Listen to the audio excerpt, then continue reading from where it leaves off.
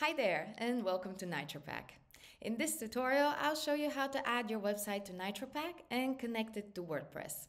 Ready to kickstart some powerful optimizations? Let's go.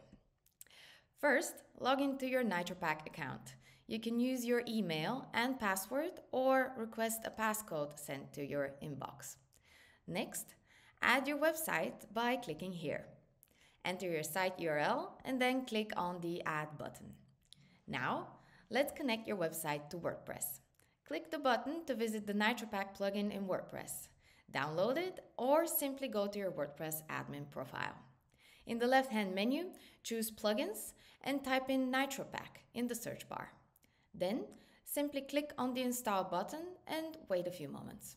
Don't forget to hit on Activate.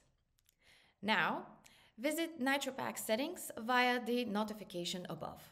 Click to connect NitroPack to WordPress and we'll do the rest in just a few seconds. And congrats, you're all set.